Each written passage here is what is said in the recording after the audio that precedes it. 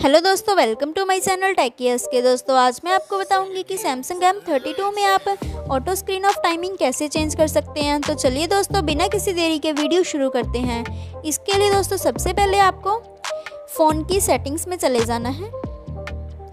Phone की settings में जाने के बाद आपको यहाँ पर ऑप्शन मिलेगी डिस्प्ले की। आपको यहाँ पर क्लिक करना है। और यहाँ पे आपको ऑप्शन मिल जाएगी, आप देख सकते हैं स्क्रीन टाइम आउट की। आपको इस पर क्लिक करना है।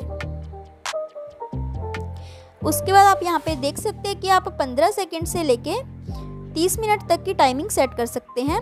आपको जो भी टाइमिंग सेट करनी है, आपको सिंपली उस पर क्लिक कर देना है तो वो टाइमिंग सेट हो जाएगी। चलिए हम यहाँ पे दो मिनट की टाइमिंग सेट कर लेते हैं।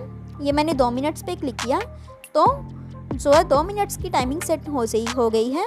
और ठीक दो मिनट के बाद मेरे फ़ोन की स्क्रीन अपने आप ही बंद हो जाएगी।